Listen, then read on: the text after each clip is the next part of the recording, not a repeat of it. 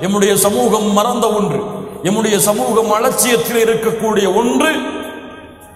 ரமதான் மாதத்தில் அதிகமாக பேணப்பட்டு அல்லாஹிடத்திலே எம்மை நெருக்கத்திலே உட்படுத்தக்கூடிய ஒன்று பெற்றோர்களுக்கு பணிவிடை செய்தல். பிர்ருல் வாலிதை உங்களுடைய தாய் தந்தையும் சொர்க்கத்துடைய வாசல்கள். அவர்களை நீங்கள் அடைத்து விட்டால் சொர்க்கம் நுழைய முடியாது.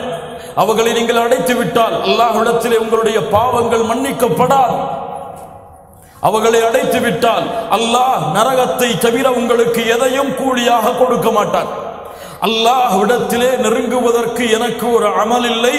பெற்றோர்களுக்கு பணிவடை செய்வதை தவிர. இப்னு அப்பாஸ் இப்னு மஸ்ரூத் ரலியல்லாஹு அன்ஹு சொன்னார்கள்.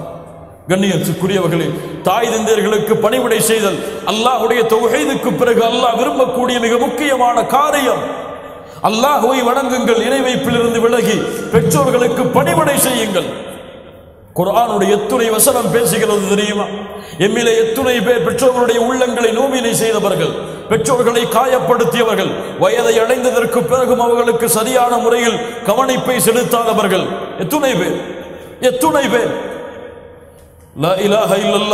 இவர்கள் ரமதானுடைய மாதத்தில் நோன்பு வைத்தாலும் அதற்கு எந்த கூலியும் இல்லை.